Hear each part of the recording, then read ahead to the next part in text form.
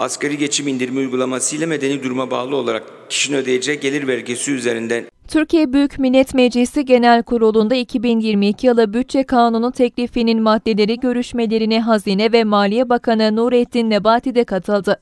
Tarımsal destekleme programlarının finansmanları hakkında bilgi veren Bakan Nebati, 2022 yılında tarım sektörüne aktarılması planlanan toplam kaynak tutarının 57,6 milyar lira olduğunu söyledi.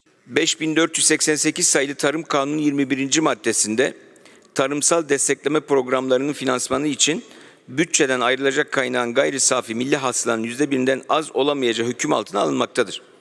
2022 yılında tarım sektörüne aktarılması planlanan toplam kaynak tutarı 57,6 milyar lira olup bu kapsamda 2022 yılı bütçesinden tarımsal destek programları için 25,8 milyar lira, tarım sektörü yatırım ödenekleri için 16,3 milyar lira, tarımsal kredi sübvansiyonu, müdahale alımları, tarımsal kitlerin finansmanı ve ihracat destekleri için de 15,5 milyar lira kaynak aktarılmıştır.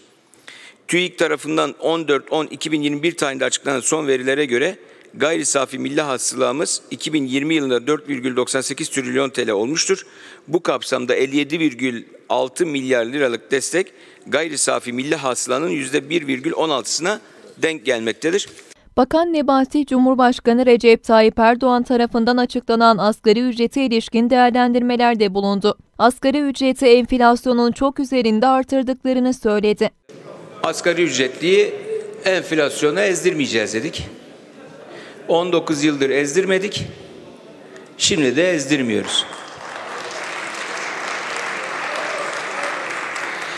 Ve enflasyonun üstünde değil. Çok üstünde değil. Çok çok üstünde. Yani yüzde ellilik net bir artışla asgari ücreti açıkladı Cumhurbaşkanımız.